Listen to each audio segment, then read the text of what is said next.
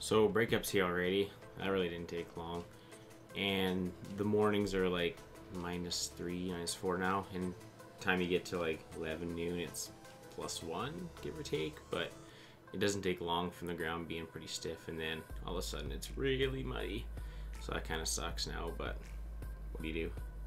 I see I'm dressed properly. Got my Game of Thrones on.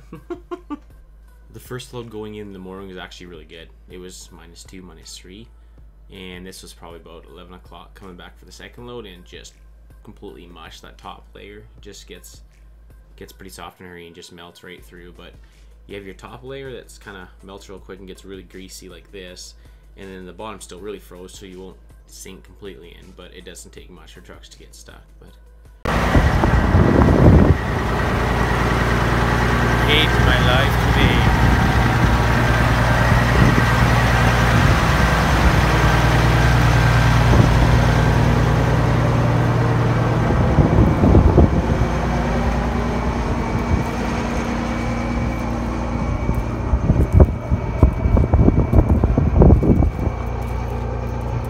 We do not get paid enough for this shit.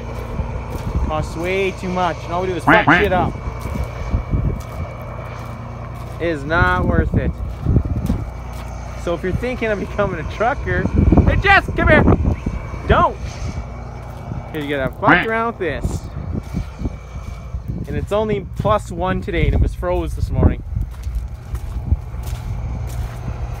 The cost of trucking is not worth it. This shit is way too expensive to be reckoned. Stay in school! Seriously. Do something other than trucking. Yes.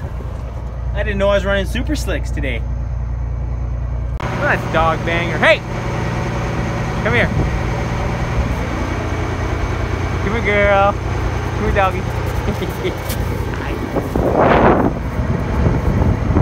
And this was the the next morning, just getting the last load out because the mornings are still good. It's just about noon is your cutoff, give or take, just to play it safe. And this is just coming out for the first load for the next morning, but you can see what the truck did, just wrecked the road, destroyed it, but doesn't take much.